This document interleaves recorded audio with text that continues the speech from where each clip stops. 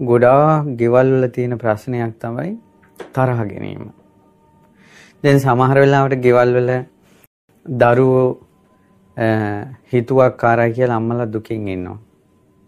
ඒ ප්‍රශ්නෙත් අවුලවන්නේ තරහ යෑම තුලින්. කියන්නේ දරුවන්ගේ හිතුවක්කාරකම් දකින්න මොහොතක් පාසා දෙමව්පියන්ට තරහ යනවා. ඒතර දරුවෝ හිතුවක්කාරයක වෙනම දුකක් තරහ යන එක තව දුකක්. ඊළඟට අම්මලා තාත්තලා අපිට සැනසෙල්ලේ ඉන්න දෙන්නේ නැහැ කියලා ගෝරණ අඩු කරනවා ළමයි. ඒ ප්‍රශ්නෙත් ඇවිලෙනවා. එතකොට දෙමව්පියෝ නිතර දරුවෝ ගැන හොයා බලන එක වදයක් ළමයිට. ඒක එක දුකක්. ඒ ඉදිරියේ ළමයිට තරහ යන එක ඊළඟ දුක. ඊළඟට බිරිඳගෙන් ස්වාමියාට සැනසෙල්ලක් නැතකොට හැම වෙලාවෙම වද දෙනවා වගේ දැනෙනකොට ඒක ස්වාමියාට දුකක්. ඊට වැඩිය දුකත් හරහා යන එක. ඒ ඉදිරියේ ස්වාමියාගේ ආදරේ සෙනෙහස අඩු වුණාට පස්සේ බිරිඳට දුකක්. ඊට පස්සේ ඒත් වඩා දුකක් ඒ ඉදිරියේ තරහ යන එක. සමහරට ස්වාමියා බොනවා. මත්පැන් මද්‍රව්‍ය භාවිතයට යොමු වෙලා. ඒතකොට ඒක එක දුකක්. ස්වාමියාගේ අඩන්තේට්ටන් හමුවේ බිරිඳට තරහ යනවා. ඒක ඊළඟ දුක. ඊළඟට සමාජයෙන් අසාධාරණකම් එනවා. ඒ සමාජ අසාධාරණකම් එනකොට ඒවට මුහුණ දෙන්න වෙන එක දුකක්. ඊටත් වැඩිය දුකක්. ඒ අසාධාරණකම් ඉදිරි තරහ යනවා අපිට. මේ විදිහට අපේ ජීවිතේ දුක දෙගුණ තෙගුණ කරනවා මේ තරහ යන එක. ඉතින් ඒ නිසා මම හිතනවා අපේ ජීවිතේ ගොඩාක් ප්‍රශ්න විසඳෙයි අපිට තරහා යන එක අඩු වුණා නම්. ඉතින් ඒ නිසා බිරිඳගේ ප්‍රශ්න වේවා, ස්වාමියාගේ ප්‍රශ්න වේවා, දෙමව්පියන්ගේ ප්‍රශ්න වේවා, දරුවන්ගේ ප්‍රශ්න වේවා, රැකියා කරන ආයතනයේ ප්‍රශ්න වේවා, පාසලේ ප්‍රශ්න වේවා, සමාජීය ප්‍රශ්න වේවා, දේශපාලනික ප්‍රශ්න වේවා, ගොඩාක් ප්‍රශ්න අපිට ඇඟට ගන්න නැතුව ඉන්න පුළුවන්. තරහා යන එක අඩු වුණා. මේ තරහත් එක්ක තමයි අපි මේ ප්‍රශ්නේ බදා ගන්නවා. ඒ ප්‍රශ්නේ වැළඳ ගන්නවා. අනිත් එක තමයි ඒ තරහ යාම ඉදිරියේ ප්‍රශ්නේ නැවත නැවත මතක් වෙනවා.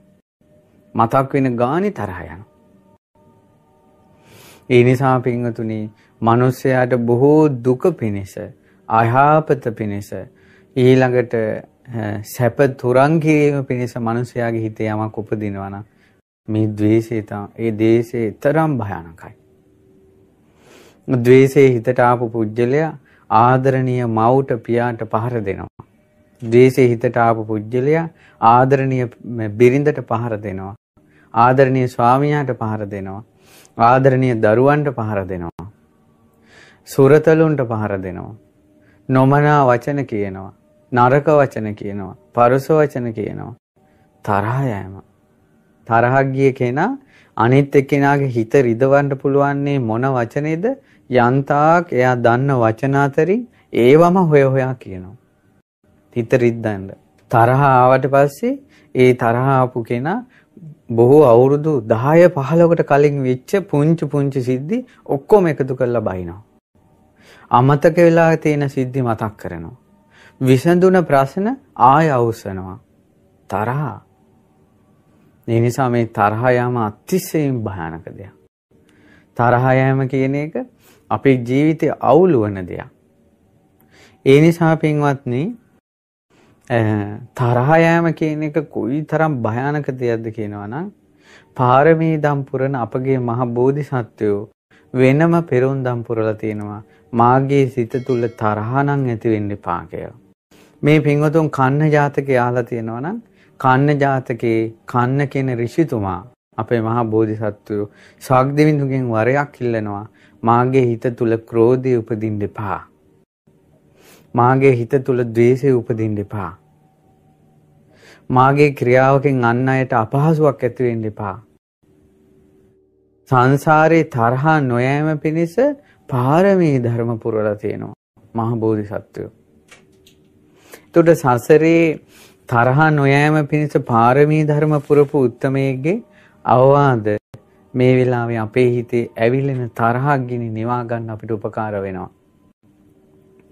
ඒ නිසා ලෞතුරා සම්මා සම්බුදු කෙනෙක්ගේ දහම් අවවාදයක් අද සිහි කරන්නයි කල්පනාව.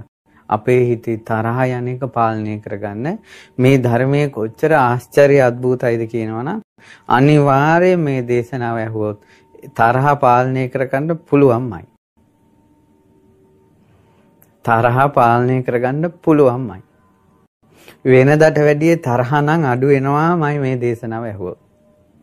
එච්චර ආනුභාවයක් තියෙනවා මේ දහම් කරුණු ටිකේ. ඒක සිද්ධ වෙනවා. තරහ යාවි. නමුත් වෙනදා තරන්නේ තව තව ධර්මයට ආස කළොත් තරහ නැති වෙලාම යාවි. තව තව ධර්මයේ ඇසුරු කළොත් ඔබගේ සිතෙන් තරහ ප්‍රහාණය වේවි. අපිට තරහ උපදිනවා කියන එක අපේ හිතේනේ උපදින්නේ. අපිට මිනිසුන්ගේ කායික ක්‍රියා, කාය සමාචාර වැරදි වුණොත්, ඒ කියන්නේ අපේ යාළගේ ඊරියව් හැසිරෙන විදිහ අපිට අල්ලන්නේ නැත්නම් ඒ තරහ යනවා. එයා සමහර අයගේ කියන දේවල් අපිට හරි ගියේ නැත්නම් වචනේ ඒ තරහ යනවා. ඊළඟට සමහර අය ඉන්නවා කාලෙන් කාලට පින්දහම් කරගෙන නමුත් ඒ මිනිසුන්ගේ ගන්න ගුණයකුත් නැහැ. ඒ මිනිසු ගැන තරහ යනවා. මෙලොව ගුණයක් නැති අය ගැනත් තරහ යනවා. පාරේ ඉන්න හිඟන්න ගැනත් තරහ යනවා. වැඩි ඕනේ පාරේ යනකොට කකුල වැදුනොත් ගලක ගල ගැනත් තරහ යනවා. ඉතින් ඒ නිසා අපි අහලා තියෙනවා දැකලා තියෙනවා ඔය කම්පියුටර් වැඩ කරන ළමයි සමහරවිට එයාලගේ වැඩ හිර වුණොත් එහෙම තරහ ගිහලා කම්පියුටරේ පොලේ ගන්නවා. කෝල් කරලා කතා කරලා තරහ ගිහිල්ලා කතා කරන ෆෝන් එකම පොලේ ගහනවා. තරහා යනවා. ඒ විතරක් නෙවෙයි. වචනයෙන් කිසි වැරදක් නැති. ක්‍රියාවෙන් කිසි වරදක් නැති. හොඳට පින්දහම් කරන හොඳ සත්පුරුෂයෝ ගැන තරහ යනවා.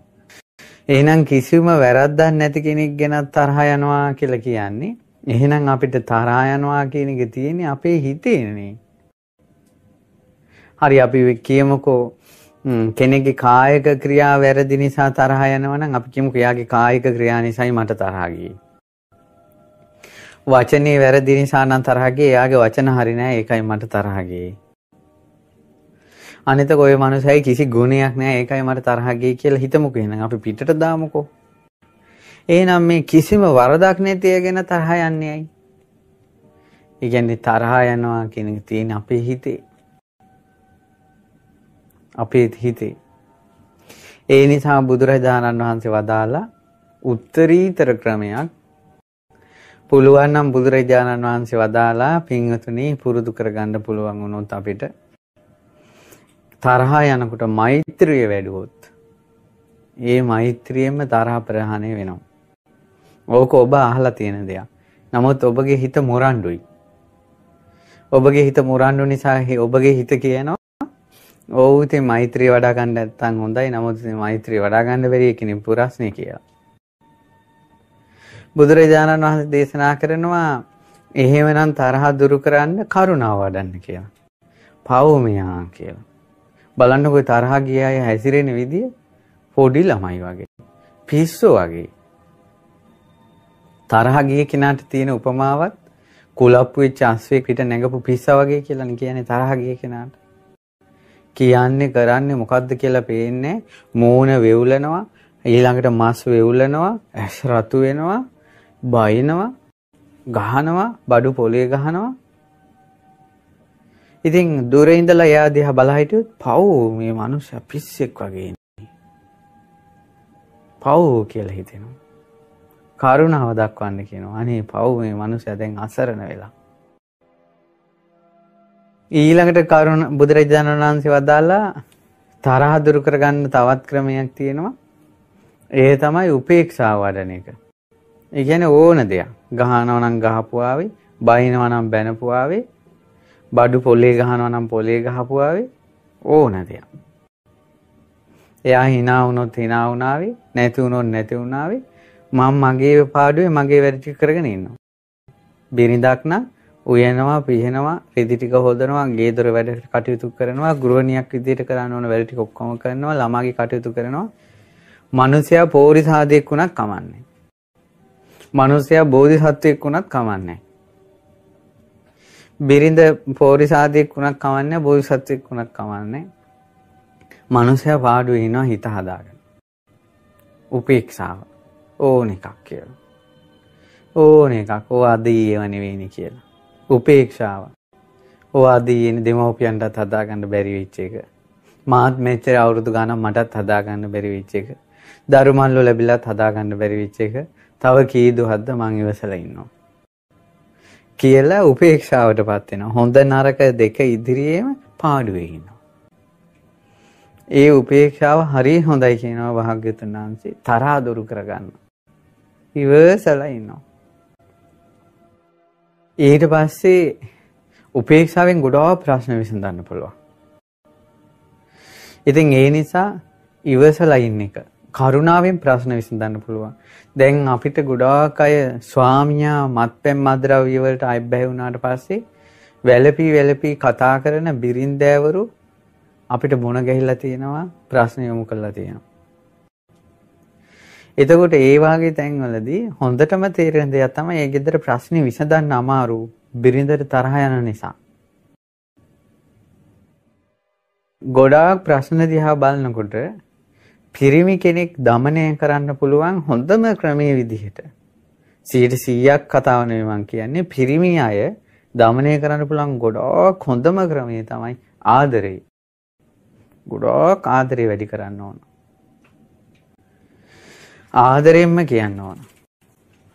ඊට පස්සේ අනේ මට තියෙන එකම ප්‍රශ්නේ ඔයා හරි හොඳයි ඔයා මේ බොන එක තමයි. ඒක සී කල්පනාව තියෙන වෙලාවෙ කියන්න ඕන. බොන වෙලාවෙ නෙවෙයි. ඊළඟට සී කල්පනාව තියෙන වෙලාවෙ කියන්න ඕන අනේ ඔයා බීලාවට පස්සේ හරි ගන්ධසාරයි. මට නම් හරි අප්පිරියයි නමුත් ඉතින් මම ඔයාට ආදරේ නිසා මම ඔයාට කිසිම වෙනසක් දක්වන්නේ නමුත් මට අප්පිරියයි. මේ බොන ගඳ එනකොට මට හරි අප්පිරියයි. ඉතින් හරි ලැජ්ජයි නමුත් ඉතින් හිත හදාගෙන ඉන්නවා. ඉතින් මම ඔයාට ආදරෙන්නේ කියලා අර ආදරේ වැඩිපුර පෙන්වන්න ඕන සිහි කල්පනාව තියෙන වෙලාව.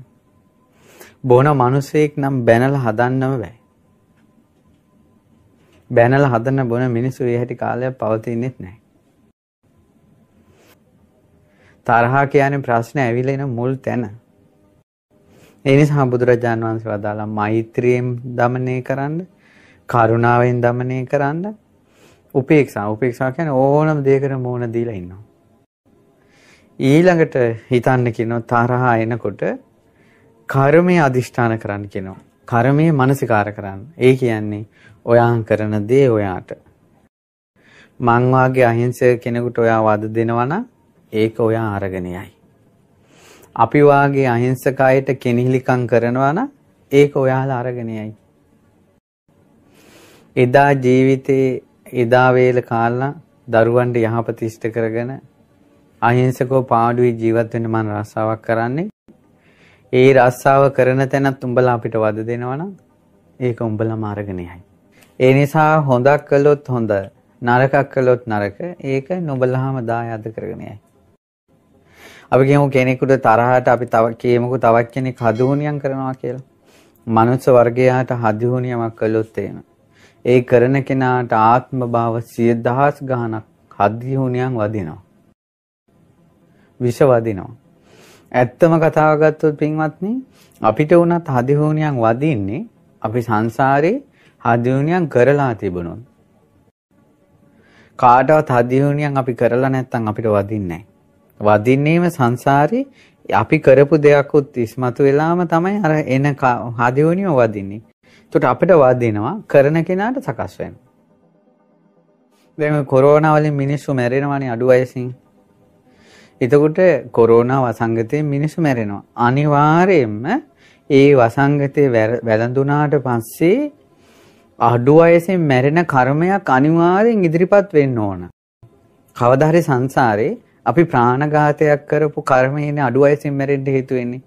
ඒ අඩු වයසින් මැරෙන කර්මයක් අනිවාර්යෙන් හේතු වෙලා තමයි කොරෝනා වසංගතය මුල් කරගෙන නියුමෝනියාව මැරිලා යන්නේ. කර්මෙමුත් එන්න ඕන. රෝගේ කොච්චර වැළඳුණත් අඩු වයසෙන් මැරෙන කර්මයක් ඔහු කරලා නැත්නම් ඒ වගේම මාරක දුර වෙන කුසල් කරලා තියෙනවනම් ඒ අවස්ථාව මග හැරෙනවා. අඩු වයසෙන් මැරෙන කර්ම, ඒ කියන්නේ මාරක දුරු කරන පුණ්‍ය සංස්කාරත් අඩු වයසෙන් මැරෙන පාප කර්මත් දෙක සටන් කරනවා අපේ ඇඟට රෝගයක් වැළඳිච්ච ගමන්. ඒ ඒ කර්ම දෙකේ සටනෙන් තමයි තීරණය කරන්නේ උඹ අඩු වයසෙන් මරනවද නැද්ද කියලා. ඒ නිසා කර්මය කියන එක එච්චර බලපැවැත්මක් අපේ ජීවිතේ ඇති කරනවා. ඉතින් ඒ නිසා අපි ඊළඟට තමයි සමහර ගෙවල් වල රණ්ඩු සරුවල් කුණුහරුප විමානේ නරක වචන විමානේ බුද්ධ දේශනාවෙන්ම තියෙනවා අපි සංසාරයේ අනිත් අයට කටෝර විදිහට නරක විදිහට පරුස විදිහට බැනලා තියෙනවා නම් ඒකේ විපාකයක් විදිහට Tamanටත් ඒවා අහන්න ලැබෙනවා කියලා. එහෙනම් ගෙවල් වල මේ නරක වචන විමානයක් වැපිරෙන්නේ තමනු සංසාරේවා කියලා තියෙන නිසා. Taman ඒ කර්මෙ විඳවද්දී කියන කෙනා සංසාරයට රැස් කරනවා. ඒක තමයි මේ සංසාරේ ගමන් කරනවා කියලා කියන්නේ. සංසාරේ ගමන් කරනවා කියලා කියන්නේ. ඉතින් ඒ නිසා පින්වත්නි බුදුරජාණන් වහන්සේ ඔන්න ඔය ක්‍රම පහ වදාලා ඒ තමයි මෛත්‍රිය පුරුදු කරන්න තරහ ප්‍රහාණය වෙනවා. කරුණාව පුරුදු කරන්න තරහ ප්‍රහාණය වෙනවා. උපේක්ෂාව පුරුදු කරන්න තරහ ප්‍රහාණය වෙනවා. ඊළඟට කර්මයේ දායාද කරගෙන ඉන්නවා කියලා සිහි කරන්න කියලා කිව්වා. එතකොට ඒ එයා කරන දේ එයා කරගහගෙන යයි. එයා කියන වචනේ එයා කරගහගෙන යයි. ඊළඟට එයා අපිට කරන කෙනිහිරිකම් එයා කරගහගෙන යයි. එයා අපිට කරන සතුරුකම් එයා කරගහගෙන යයි. එහෙම හිතනකොට ඉතින් තරහ නැති වෙනවා කියෝ. දැන් මෙතන වටිනාමදී අපේ හිතේ තරහ අපි නැති කරගන්න එක. ඊළඟට බුදුරජාණන් වහන්සේ හිත උපේක්ෂාවටපත් වෙන්න වදාලා මේ මිනිසුන්ගෙන් නරක වචන කෙනිහිරිකම් ඊළඟට පලි ගැනීම ක්‍රෝධ කිරීම එක ටික කිරීම එද්දි දැන් අපිට තරහ යනවනේ ඒ වාගේ වෙලාවට හිත උපේක්ෂාවටපත් කරන්න කිව්වා. මේ මිනිස්සු මට මෙහෙම බනින්න එපා කියලා මං කෙසේනම් ලබන්නද කියලා කල්පනා කරන්න කිව්වා. ඒ කියන්නේ එහෙම කරන්න එපා කියලා අපි කොහොමද ලබන්නේ? මිනිස්සු අපිට හදි හෝනියම් කරනවා. එහෙම කරන්න එපා කියලා කොහොමද ලබන්නේ අපි? බැඳපු මිනිස්සු ඇවිල්ලා බීලා ඇවිල්ලා බයිනවා. කොහොමද එහෙම වෙන්න එපා කියලා ලබන්නේ? බිරිඳ සැරයි නපුරුයි. එහෙම වෙන්න එපා කියලා කොහොමද ලබන්නේ? දරුවෝ හිතුවක්කාර වෙනවා. හිතුවක්කාර වෙන්න එපා කියලා කොහොමද ලබන්නේ? මිනිසුන්ගේ නින්දා අපහාස අපිට එනවා. මිනිස්සු අපිට නින්දා අපහාස කරන්න එපා කියලා කොහොමද ලබන්නේ?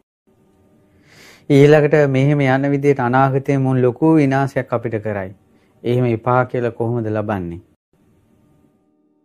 ඉතින් ඒ නිසා මේ සමාජයෙන් එන අඩන්තේට්ටන් නරක වචන, පරුස වචන, කටෝර වචන නිന്ദා අපහාස අභූත චෝදනා මෙසේ වෙන්න එපා කියලා කෙසේනම් ලබන්නද කියලා කල්පනා කරන්න කිව්වා.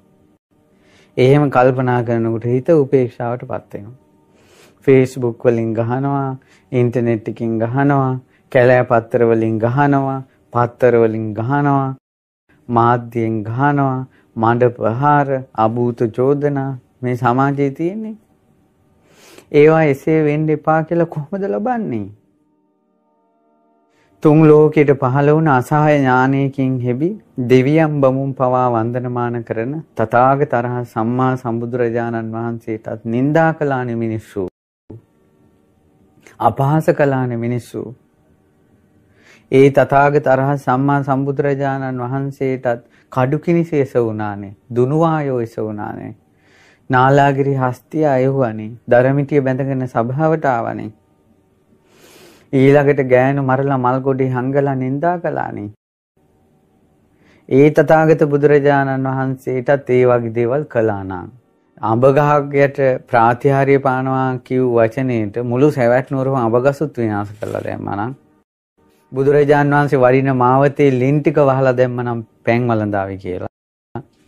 එච්චර තරහක් තිබ්බනම් ඉස්සර සමහර මිනිස්සු බුදුරජාන් වහන්සේ ඇතුළු සංඝයාට අර ගරහදින්න ඒ කතාවේ බලන්න මේ අසූචි පුරවලා වාජනවල අසූචි පුරවලා එහෙම නැත්නම් වාජනවල හිස් වාජන කෑම නැතුව නිකම් වාජන පියන් වලින් වහලා බුදුරජාන් වහන්සේට දානෙට ආරාධනා කළා තියෙනවා දානේ වළඳන්න එන්න කියලා. දානේ බෙදන්න වාජන තියෙනවා වාජන ඇතුලේ මොකුත් නැහැ. අපහාස කරන්න කළේ. බුදුරජාණන් වහන්සේ ධනට වැඩියට පස්සේ බුදුරජාණන් වහන්සේ පිනිස දෙවියන් අර වාජනවල දානේ පුරවලා තිබ්බා. ගිනි අඟුරු වල ගිනි අඟුරු වලවල් උඩ බොරු ලෑලි දාලා බුදුරජාණන් වහන්සේ ප්‍රමුඛ සංඝයාට ආසන පනවලා තිබ්බා ඉඳගත්ත ගමන් ගිනි අඟුරු වලට වැටෙන්න. බුදුරජාණන් වහන්සේ ගිනි අඟුරු වලේ සිරිපා තබනකොට නෙළුම් මල් පහළ වුණා. නෙළුම් මල් මත දන් වළඳෝ. ලෞතුරා බුදු කෙනෙකුටත් ওই වගේ කෙනිහිරිකම් අපහාස කළා නම් හිතා ගන්න බැරි අපහාස හිස මුදුනට ගල් පෙරළුවා නම් මේ අපි කවුද? අපි කවුද? ඒ නිසා මේ ලෝකෙන් ඒ වගේ දේවල් අපිට එන්න එපා කියලා කෙසේනම් ලබන්නද කියලා හිත උපේක්ෂාවට ගන්න ඕන. අනිතක මේ උපන් සත්වය කොමට ලාභ ආලාභ යස ආයස නින්දා ප්‍රශංසා සැප දුක මේ අෂ්ටලෝක ධර්මයට මෝන දෙන්න සිද්ධ වෙනවා. අෂ්ටලෝක ධර්මය අපිව ග්‍රහණය කරගන්නවා. ලාභ අලාභ යස ආයස නින්දා ප්‍රශංසා. අපි හිතේ බොරුවට අකමැති වෙලා ඉන්නවා. අපිට අලාභයෙන් දෙපා. ලාභේ පවතිවා. අපිට නින්දායෙන් දෙපා. ප්‍රශංසා පවතිවා. අපිට දුකෙන් දෙපා. සැප පවතිවා. ඊළඟට අපි වටා කට්ටිය පිරිවරා ගනිත්වා. යසස පැමිණේවා. ආයස නොපැමිණේවා කියලා අපි අෂ්ටලෝක ධර්මයේ කැරකී කැරකී යන අෂ්ටලෝක ධර්මයට විරුද්ධව හිතනවා. ඒක අපේ හිතේ මුලාවක් මිසක් සත්‍ය නෙවෙයි. සත්‍ය නෙවෙයි. ඒ නිසා අපිට මෙහෙම දුක්ඛන්දරා එන්න එපා කියලා අපි කෙසේනම් ලබන්නද? ඒ නිසා ඔබට මේ සංසාරේ යනකොට මුහුණ දෙන්න සිද්ධ වෙන සැබෑ ස්වභාවයට ඔබ මුහුණ දුන්නා කියලා හිත හදා ගන්න. මොකද කරන්නේ? වෙන මොකද පින්වත්නි කරන්නේ? අවියාහි දාමෝරාගෙන එකිනෙකා මරාගෙන යන්නද? එයින් සැනසෙල්ලක් ලැබුවෝ සිටිද්ද? අන් අය නසන අය නැසීමෙන්ම නැසුණා. හන්තා ලබති හන්තාරං අන් අය නසන අය තමාව නසන අය කර්මානුරූපව බිහි කරගන්නවා. අපි කෙනෙක් නැසුවොත් අපිව නසන අය සංසාරේ බිහි වෙනවා සිය දහස් ගානකින්. අක්කෝ සංචාක්කෝසං.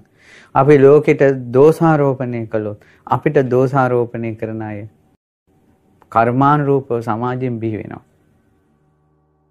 ඒ නිසා අපි ලෝකෙට ඇඟිල්ල දික් කරනකොට අපිට ඇඟිල්ල දික් කරගන්න දහසක් දෙනා බිහි වෙනවා.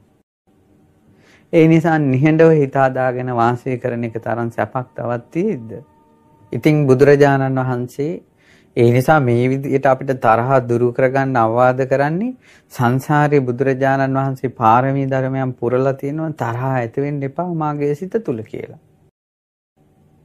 ওই චුල්ල බෝධි මට මතක හැටියට චුල්ල බෝධි ජාතකේ වෙන්න ඕන ඒ ජාතක කතාවේ තියෙනවා ජාතක කතා මහා ලොකු ස්වාමීන් වහන්සේ පරිවර්තනය කරපු 44 පොත කියවන්න ලැබුණොත් පුළුවන් මේ පින්වතුන්ට කියවන්න වෙනම තපස් රැකලා තියෙනවා තරහා ගන්නෑ කියලා. ඒ කියන්නේ ඒ ඉරිසිවරයාගේ ඒ තාපසයාගේ තපස තමයි මම තරහා ගන්නෑ කියලා. තරහා ගන්න නැතුව ඉන්නවා.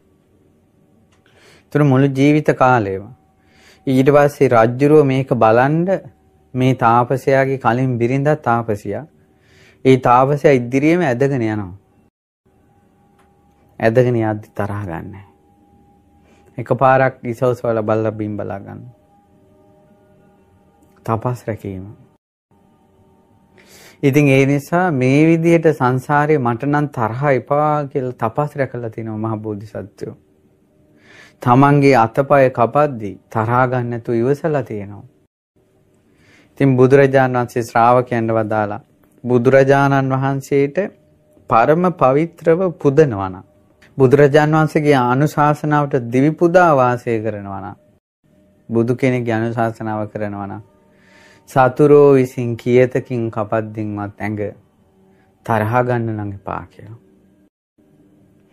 කීයතකින් කපත් දිනුත් තරහ ගන්න එපා කියලා කිව්වා බුදුරජාණන් වහන්සේට ඇත්තටම පුදනවා නම් අනුශාසනාව සිහි කරනවා නම් එහෙනම් තරහ ගන්න නැතුව ඉන්නවා කියන එක උතුම්ම බුද්ධ පූජාවක්. ව්‍යංජන 32 පූජාවට වඩා මහා රාජ භෝජන පූජාවකට වඩා තරහ ගන්න නැතුව ඉන්න එක උතුම් ලෝතුරා බුද්ධ පූජාවක්. මහා බුද්ධ පූජාවක් තරහ ගන්න නැතුව ඉන්න එක. ඉතින් සාරිපුත්ත මහරහතන් වහන්සේ ප්‍රඥාවෙන් අග්‍රයිනේ. මේ තරහ තියෙන තැන ප්‍රඥාවට හැසිරෙන්න බෑ. දැන් ප්‍රඥාවෙන් අග්‍ර වූ සාරිපුත්ත මහරහතන් වහන්සේ සංසාරේ මා තුල නම් තරහ ඇති වෙන්න එපා කියලා පාරමී ධර්මයන් පුරලා තියෙනවා. දැන් ඒකට මම උදාහරණයක් කියන්නම්. ඒකක් තමයි එක ජීවිතයක පස් දිනක් වනේ තපස් රකින්න විස්තරයක් තියෙනවා මට මතක හැටියට පංච උපෝසත ජාතකය කියලා. ඒ තාපසය තපස් රකින්න තැන නාගී කැවිලා සක්මනේ කෙලවරේ වැලිගොඩ මත දරනලාගෙන තපස් රකින්න. ඊට පස්සේ තාපසය නාගයෙන් අහනවා නාගය උඹ මොකෑ මේ කරන්නේ තපස් රකින්නවා කිව්වා. මොකටද උඹ තපස් රකින්නේ කිව්වා. මට නම් උපනූපන් ජීවිතේ තරහ ඇති වෙන්න එපා කියලා මම මේ තපස් රකින්නේ කිව්වා. ඊට පස්සේ කිව්වා ඇයි ඔච්චරම තරහ එපා කියලා හිතෙන්නේ ඇයි කියලා හෙව්වා. ඊට පස්සේ කිව්වා මං තුඹසට රිංගන රිංගනකොට එක ගවයෙක් ඒ තුඹස ළඟින් යද්දී මගේ වලිගේ පෑගුණා ඒ ගවයට. පෑගිච්ච ගමන් මට ආපු තරහට මං කැරකිලා ගිහිල්ලා එහෙම ඒ ගවයට දෂ්ට කළා. සුළු මොහොතකින් ගවයා ඒ තුඹස ළඟම වැටිලා මරණයටපත් වුණා. මං පස්සේ තමයි දන්නේ ඒ ගමේ මිනිස්සු සුවඳ පැන් වලින් නාවලා මල් මාලා පලන්දවලා දෙවියෙකුට වාගේ වඳිනවාර වෘෂභයාට. පූජනීය වෘෂභයෙක්. ඉතින් මිනිස්සු ඇවිල්ලා අඬලා වැළපිලා මහා පෙරහැරින් ඒ උසඹයාගේ ශරීරය ගෙනියලා ආදාහනය කළා. මිනිස්සු හරියට ඇඬුවා වැළපුණා. මං ඈත ඉඳලා ඒක බලාගෙන ඉඳලා මගේ द्वේෂය නිසා නේද මිනිසුන්ට මෙච්චර දුකක් ඇති වුනේ කියලා මට හිතුණා. උපනෝපන් ජීවිතේ නම් මගේ හිතේ තරහ ඇති වෙන්න එපා කියලා මම මේ තපස් රකින්නේ කිව්වා. ඒ ඒ විදිහට තපස් රැක්කේ සංසාරේ සාරිපුත්තයන් වහන්සේ. සාරිපුත්තයන් වහන්සේට තරහ යන්නේ ඒ නිසා උන්වහන්සේගේ පිටට ගහලා මිනිස්සේ තරහ යනවද කියලා චෙක් කරලා බැලුවානේ. තරහ යන්නේ ධනට ආරාධනා කළා. පිටට ගහනකොටත් ඒ කෙනාම ධනට ආරාධනා කරනකොටත් ඒ සුන්දර මුනිවරයාගේ මුව මණ්ඩලේ නෑ කිසිම වෙනසක්. උන්වහන්සේ කිනිහිරියා මලේ පාටින් බබලන සොඳුරු net සංගලක් තිබෙන අනිත් අයගේ දුක දුරු කරන ප්‍රියකරු මොහ මඩලා මගේ සාරිපුත්ත මහරහතන් වහන්සේට තිබුණා. තරහා ගන්න නැති හිතේ ප්‍රඥාව හොඳට වැඩ කරනවා. මේ හොඳ වැදගත් මිනිසෙක් වුණත් තරහ ගත්තට පස්සේ ඒ මිනිසයා දීන තත්වයටපත් වෙනවා පහත් තත්වයටපත් වෙනවා දැන් බලන්නකෝ පාර්ලිමේන්තුවේම තරහ අරන් කියන ඒවා අහනකොට මිනිසුන්ටම හිතෙනවනි මුන්ටද අපි ඡන්දෙ දුන්නේ කියලා. හැබැයි මිනිසුන්ගේ මෝඩකමට ඒකේ ටීවී එක ඕෆ් කරපු ගමන් අමතකයි. නමුත් නරක වචන වලින් කතා කරනකොට පහත් වචන වලින් කතා කරනකොට තරහ ඇවිස්සීලා කතා කරනකොට මොන්ඩිසෝරියේ ළමයි වගේ කටයුතු කරනකොට මේ වැදගත් මිනිස්සු ඒ වගේ තත්වයකටපත් වෙන්නේ ඇයි? තරහ නිසා. ද්වේෂය නිසා. ඉතින් ඒ නිසා සාරිපුත්ත මහරහතන් වහන්සේ වදාලා මෙච්චර තරහා සංසාරේ ප්‍රහාණය කළ හිත හුරු කරපු ප්‍රඥාවෙන් අග්‍ර සාරිපුත්ත මහරහතන් වහන්සේ වදාලා කෙනෙකුගේ හිතේ තරහ ඇති වෙනවා තවත් කෙනෙක්ගේ කායික ක්‍රියා හොඳ නැත්තම්. කියන්නේ එයා කරන දේවල් එයාගේ හැසිරීම අපිට රුස්සන්නේ. ඒකට තරහ එනවා. හැබැයි හොඳ වචන තියෙනවා එයාගේ. හොඳ ලස්සනට කතා කරනවා, ඇත්ත කතා කරනවා. නමුත් එයාගේ ඉරියව් තමයි අපිට අල්ලන්නේ නැත්තේ. කරන දේවල් අල්ලන්නේ අපිට. ඊට පස්සේ අපිට තරහා යනවා තවත් ක්‍රමයකින් ඒ තමයි කෙනෙක්ගේ ක්‍රියා හොඳයි. හොඳ ඉරියව් තියෙනවා. අපේ ගහන්න මොකුත් දෙන්නේ නැහැ. පාඩුවේ මනුස්සය ඉන්න. හැබැයි වචනය පිට කළොත් ඉතිරි දෙනවා. කිසි කරදරයක් නැහැ. නමුත් වචන සැරයි. වාචසික ක්‍රියා කියන වාචසික සමාචාර වචනින් කියන දේවල් හරි නැතිකොට අපිට තරහ යනවා. ඉතින් අපි ඒ තරහත් නැති කරගන්න ඕන. ඉතින් සාරිපුත්ත මහරහතන් වහන්සේ දේශනා කරනවා සමහර අය ඉන්නවා කායික ක්‍රියාත් හොඳ නැහැ. වාචසික ක්‍රියාත් හොඳ නැහැ. වාචසික සමාචාර. කරන දේවලුත් හොඳ නැහැ, කියන දේවලුත් හොඳ නැහැ. ඊට පස්සේ නමුත් කාලෙන් කාලට මේ මනුස්සය පින්කම් කරනවා, බණ භාවනාවල් කරනවා කාලෙන් කාලට. නමුත් බහුතරයක් කයෙන් කරන දේවල් හොඳ නැහැ. වචනෙන් කියන ඒවා හොඳ නැහැ. ඔය වගේ ගැනත් අපිට තරහ යනවා. හැබැයි දුරු කරගන්න ඕන. තව සමහර අය ඉන්නවා කායික දේවලුත් හොඳ නැහැ. වාචසික දේවලුත් හොඳ නැහැ. ඒ වගේම කාලෙන් කාලට පිනක්වක් කරගන්නේ මහා පෞකාර චරිත. හිතන්න කිසි ගුණයක් නැහැ මිනිසුන් එන. හැබැයි ඒ අය ගැන අපිට තරහ එනවා. හැබැයි ඒවත් අපි දුරු කරගන්න ඕන. සාරිපුත්ත මහරහතන් වහන්සේ වදාලා සමහර අය ඉන්නවා කායික ක්‍රියාත් හොඳයි. වාචසික ක්‍රියාත් හොඳයි. කායික සමාචාර වාචසික සමාචාරත් හොඳයි. හොඳට පින් දහම් කරන කුසල් දහම් කරන හොඳ අය ඉන්නවා. ඒ අය ගැන තරහ එනවනේ. ඒකට සාරිපුත්ත මහරහතන් වහන්සේ වදාලා හොඳ අය ගැන තරහ එනකොට ඒකත් දුරු කරනවා. සාරිපුත්ත මහරහතන් වහන්සේ වදාලා ප්‍රිය ආයස්මතුනි මම මේක දුරු කරන හැටි උපමාවලින් විස්තර කරලා දෙන්නම්. ප්‍රිය ආයස්මතුනි දැන් ඕන කෙනෙක්ගේ කායික ක්‍රියා හොඳ නැහැ. වචනේ හොඳයි. ඒ කියන්නේ එයා සත්තු මරනවා, හොරකම් කරනවා, වැරදි කාම සේවනය කරනවා, සල්ලාලකම් කරනවා. එයාගේ කයෙන් කරන ඒවා නරකයි. හැබැයි බොරු කියන්නේ නැහැ මෙයා. ඕනම නරක වැඩක් කරනවා ඇත්ත කියන. ඊට පස්සේ කේලම් කියලා බිඳවන්නේ ඊළඟට නරක වචන පාවිච්චි කරන්නේ පාඩුවේ ඉන්න වල්පල් දොඩ දොඩ ඉන්නේ හැබැයි නරක වැඩ කරනවා එතකොට මෙයා අපිට ඇඟිල්ල දික් කරගෙන ආවා. ගහන්න බනින්න ආවා. මේ ගහන්න ආවා. කායික ක්‍රියාවලින් එයා කරපු දෙයින් අපිට තරහව වචනේ හොඳයි එයාගේ. සාරිපුත්ත මහරහතන් වහන්සේ දේශනා කරනවා තරහ දුරු කරගන්න කැමති නම් එයාගේ ක්‍රියාවකින් අපිට තරහ හොඳ වචන හිතන්න එයාගේ. මෙයා මෙහෙම කී කළාට මෙයා බොරු කියන්නේ නැති කෙනෙක්. කේලම් කියන්නේ නැති කෙනෙක්, පරුස වචන කියන්නේ නැති කෙනෙක්, හිස් වචන කියන්නේ නැති කෙනෙක්. මේ මිනිසයා හොඳ වචන කතා කරනවා කියලා එයාගෙන් වෙච්ච වැරද්ද සිහි කරන්නේ නැතුව එයාගේ හොඳ වචන ටික සිහි කරන්න කියනවා. ඕක තමයි අමාරුම දේ. ඒ කියන්නේ මිනිසෙක් ගැන අපිට තරහා ගියාට පස්සේ එයාගෙන් වෙච්ච වැරදි අඩුපාඩු තමයි ඔක්කොම ටික පොලිමට මතක් වෙවි එනවා. පොලිමට මතක් වෙවි එනවා. හොඳ මතක් වෙන්නෙම නෑනේ. සාරිපුත්ත මහරහතන් වහන්සේ වදාලා හොඳ ටික සිහි කරන්න කිව්වා. නරක අමතක කරන්න කිව්වා. උදාහරණයක් තමයි පාංශකූලික භික්ෂුවක් ඉන්නවා. ඒ භික්ෂුව පාරේ වැටිලා තියෙන රිදි කෑල්ල එකතු කරලා සිවුර හදාගන්න.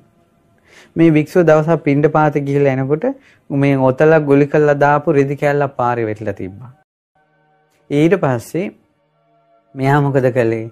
ඒ රෙදි කෑල්ල වම් පායෙන් පාගාගෙන දකුණු පායෙන් ඈත් කරලා බලනවා හොඳ රෙදි කෑල්ලක් තියෙනවද?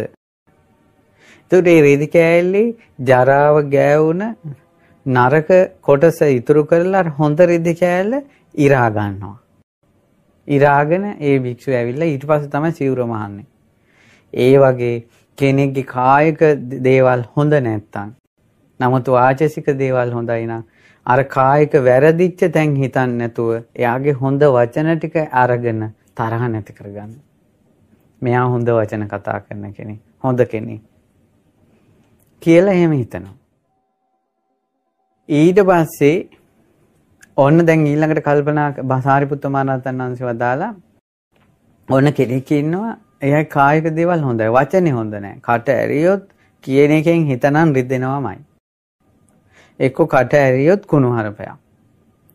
එක්කෝ ඕන් නැති ඕපදූප කතාවක් කියනවා හොඳටම තරහ යනවා යා කියන ඒවට. හැබැයි මේ මිනිස්සයා සත්තු මරන්නේ, ඔරකම් කරන්නේ, සල්ලාලකම් කරන්නේ හොඳ මිනිස්සෙක්. කට තමයි හරි නැත්තේ.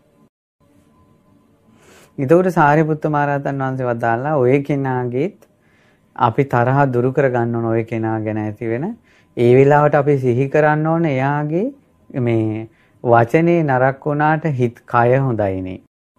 කියන්නේ මෙහා හොසද්දු මරන්නේ නෑනේ, හොරකම් කරන්නේ නෑනේ, සල්ලාලකම් කරන්නේ නෑනේ, අපිට අතින් පයින් ගහන්න ආවේ නෑනේ, බඩු පොලේ ගැහුවේ නෑනේ. ඔය සැරට කතා කළාට ඔය මිනිස්සයා කායික ක්‍රියා හොඳයි කියලා හොඳ පැත්ත හිතන්න ඕන නරක පැත්ත හිතන්නේ නැතුව. දැන් අපිට වචනයෙන් බයිනකොට ඕක ඊයේත් බෑන්නා, පෙරේදත් බෑන්නා, ඉස්සරත් බැනලා තියෙනවා. එදා මෙහෙම කිව්වා, මෙහෙම කිව්වා කියලා වැරදිච්ච වචන ටිකම මතක් වෙනවා. වැරදිච්ච වචන ටිකම මතක් වෙනවා කියලා කියන්නේ අනිවාර්යයෙන්ම තරහ තව තව වැඩි වෙනවා. සාරිපුත්ත මහරහතන් වහන්සේ වදාලා හොඳ පැත්ත හිතන්න කිව්ව ඒ වෙලාවට. මේක නම් ඒකාන්ත සත්‍යයක් පින්වත්නි. දැන් ඔය තරහ යන අය ඉන්නවනේ. ඔන්න අපි ඉස්සරහට තරහ යනවා. ඊට පස්සේ මං කියනවා දැන් ආහවල නිසා අපිට තරහ ගියා කියලා ඔන්න එයා කියනවා මට පෙන්වන්න බෑ කියලා. මං කියනවා හරි හරි පොඩ්ඩක් ඉන්න. එයාගේ ಗುಣ 10ක් කියන්න. කියාගන්න බෑනේ. මට ඕනත් තරහා ගියොත් එහෙම ඒ තරහා ගිය කෙනාගේ ගුණ 10ක් කියා ගන්න බැරුව යනවනේ. ඉච්චරම මේ ගුණේ කියන එක වහලා දානවා මේ තරහා. සාරිපුත්ත මහරහතන් වහන්සේ වදාලා වචනේ නරක් වුණත් පිරිසිදු කායික ක්‍රියා සිහි කරලා තරහ දුරු කරගන්න කිව්වා. පිපාසයෙන් ඉන්න කෙනෙක් දියසෙවල් පිරුණ පොකුණකට ගිහිල්ලා දියසෙවල් අයින් කරලා වතුර බොනවා වගේ. ප්‍රඥාවන්තයා තරහ නොගන්න තියෙන කාරණාවම ගන්නවා. දියසෙවිල් අයින් කරලා වතුර ටික අරන් බොනවා වගේ පිපාසිත කෙනා අර මිනිස්යාගේ වචනේ නරක් වුණාට අනේ මේ මිනිසයා හම්බ කරන දේවල් වලින් අපි ජීවත් වෙන්නේ. මේ අපි කියව ස්වාමියාගේ පිරිතගේ ප්‍රශ්නයක් කියලා. ඔන්න මිනිසයා ඇවිල්ලා කෑ ගහනවා බයිනවා. ඒතකොට හිතනවා මේ මිනිසයා හදපු ගෙදරනේ. මේ මිනිසයානේ අපිට කන්න බොන්න ගෙනත් දෙන්නේ. ඉතින් මේ මනුස්සයන් නිසානේ අපි යානයක වාහනයක යන්නේ. මේ මනුස්සයා ඉන්න නිසානේ අපි චෝදනාවක් නැතුව මටත් මිනිස්සෙක් හරි ඉන්නවනේ. කියලා අර මනුස්සයාගේ යහපත් පැත්ත හිතලා තරහා ගන්න නැතුව ඉවසලා ඉන්න කියනවා. ඊළඟට තව සමහර අය ඉන්නවා ක්‍රියාවත් හොඳ නැහැ. සල්ලාලෙක්, නපුරු මිනිසෙක්, වචනත් හොඳ නැහැ. හැබැයි කාලෙන් කාලට පින්කම් කරනවා. ඕන හිටපු ගමන් කටින පින්කමට සම්බන්ධ වෙනවා. හිටපු ගමන් රුවන්වැලි සෑය යනවා. හිටපු ගමන් කතරගම යනවා. හිටපු ගමන් අඟුලිමාල සෑය වඳින්න යනවා. ඊට පස්සේ වෙසක් පොයට හරි පන්සලට ගිහලා මල් පහන් පූජා කරනවා. කාලෙන් කාලට පින් කරනවා මේ මිනිස්සයා. දන්සල් වලට හරි හපනා. ඒතර කල්පනා කරනවා මේ මිනිස්සයා නිසා හැමදාම තරහ යනවා. කරන්නේ නරක වැඩ. ඊළඟට කිව්වොත් හිත රිදෙනවා කියන්නේ. කොනුහරප කියන්නේ. නමුත් මේ මිනිසයා කාලෙන් කාලෙට හරි පින්කම් කරනවානේ කියලා හිතන්න කිව්වා. ඕක හරිම අමාරුයි ඔහොම හිතන එක. සාරිපුත්ත මහරහතන් වහන්සේ දේශනා කරනවා පිපාසයෙන් ඉන්න මිනිසෙක් වතුර ටිකක් හොයාගෙන යනකොට ගව කුරේක වතුර ඩිංගිත්තක් පේනවා. මොකද්ද ගව කුරේ කිව්වේ? හරක් ගිය පාරක වැස්සක් ඇවිල්ලා වතුර අර එරුණ හරක් අඩියක වතුර ඉතුරු වෙලා තියෙන පොඩ්ඩක්. ඉතින් අර පිපාසයෙන් ඉන්න මිනිසයා කල්පනා කරනවා මේ දැන් මේක අතින් ගන්න ගියොත් වතුර ටික හැලෙනවා. ඒ නිසා මෙයා ධනෙස් දෙකයි අත් දෙකයි බිම තියලා අර මේ හතර ගාතේ බිම තියලා මේ දිව දාලා අර මේ ගව කුරෙන් වතුර ටික බොනවා. ලේසිද අමාරුද? අතිශයින් අමාරු. ඒ වගේ මිනිසයා කාලෙන් කාලෙට කරන පිනානේ මේ මිනිසයා දන්සලක් දීලා තියෙනවනේ. අනේ මේ මිනිසයා යුවන් අලිසය ගිල්ලා තියෙනවා.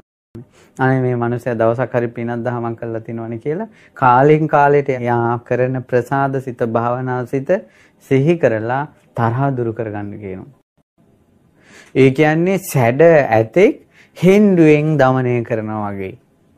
සැඩ ඇතා වගේ තරහා හෙන්ඩුව තමයි අර ගුණේ සිහි කරන එක. විශාල ඇතෙක් චූටි හෙන්ඩුවකින් දමනය කරනවා.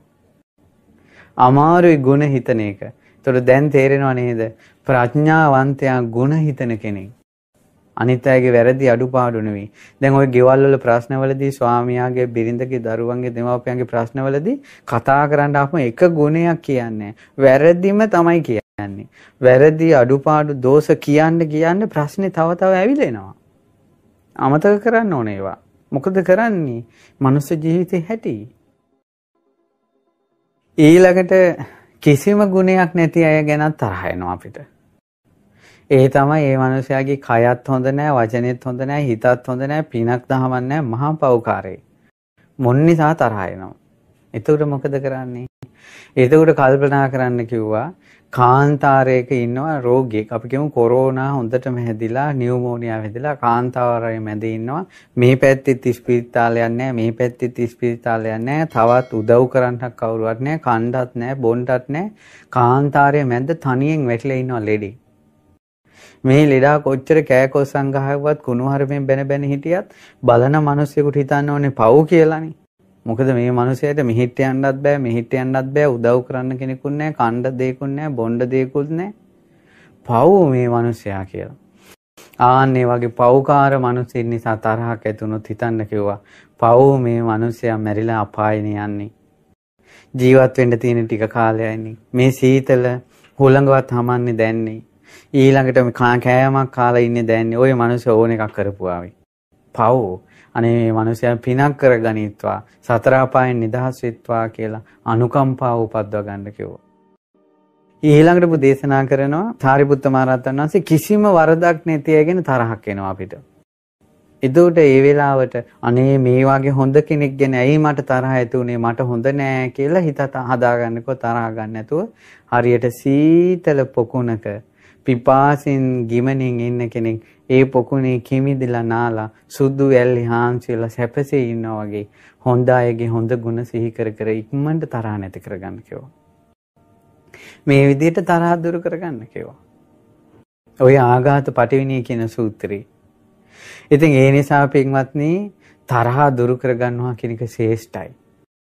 තරහ දුරු කර ගැනීම උත්තරීතර බුද්ධ පූජාවක්. මුළු ජීවිත කාලෙම බුද්ධ පූජා තිබ්බත් ඒ පිනයි එක දවසක් තරහ දුරු කරගන්න පිනයි ගත්තොත් එක දවසක් තරහ දුරු කර ගැනීමේ පින ඉදිරියේ අවුරුදු 100ක් බුද්ධ පූජා තිබ්බේක දෙවෙනි තැනට එන්නේ. එනිසා තරහ දුරුකොට බුද්ධ පූජාව සිදු කරත්වා. සියලු ප්‍රශ්න නැති කරගනිත්වා තරහ නැති කරගෙන. තරහ නැති කරගත්තොත් ජීවිතේ ප්‍රශ්න වලින් 75ක් ප්‍රශ්න නැති වෙනවා. හිතේ උපදින द्वේෂය දුරු කරගන්න අද ධර්මානුශාසනාවේ පින් බලය හේතු වාසනා වේවා. thank you